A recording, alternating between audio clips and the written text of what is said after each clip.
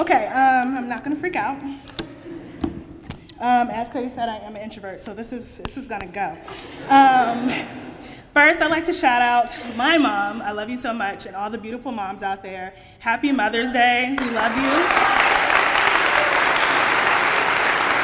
Uh, next, I'd like to thank faculty and staff, all of you guys, family and friends, Strat Frat, BC Collective, you guys have been awesome. So for those of you who don't know me, because I know I don't get out much often, kind of like to stay in my house, it's okay. Um, I'm just a little country girl from 7'5 who loves her grits, and this speech is inspired by another country girl who has hot sauce in her bag, who has always come through in a clutch for me whenever I needed something. Um, I just want to share a few quotes from her that seem to sum up our time here at Brandcenter and our futures that we're about to embark on. The first is from one of her greatest world tours, and it goes, I dream it, I work hard, I grind till I own it. All right. So first, give yourselves a round of applause because we made it, okay?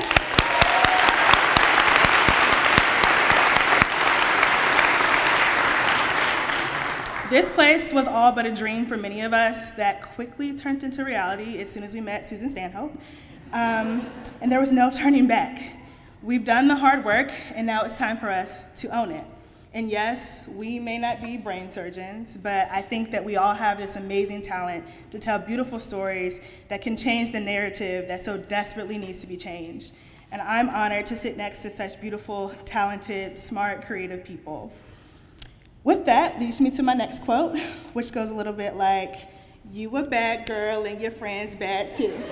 You got the swag, so she dripping swag good. Okay. So, no one really knows what swagoo means, but that's not the point. Uh, the point is just to say that we've made some awesome friendship here that will last a lifetime. I love you guys. I'm not going to cry. I'm not looking at you, Michaela. Um, and it's great because we've basically seen each other at our worst.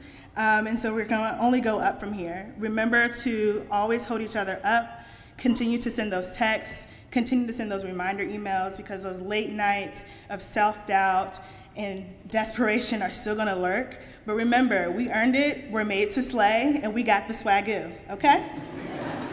so people are probably going to ask, How did you do it? Is it magic? What's Black Girl Magic? Where did you get that from?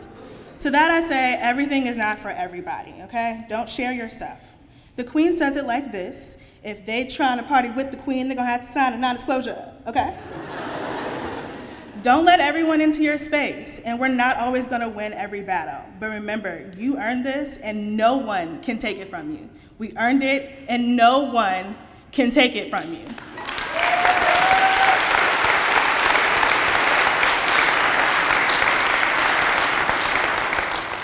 So um, at times it might feel like we didn't earn this, but we did. And I believe in everything that you guys have, and you're gonna do great things in this world. And before I let you go, congratulations to the class of 2019. And I'll leave you with one last quote. Always stay gracious. Best revenge is your paper.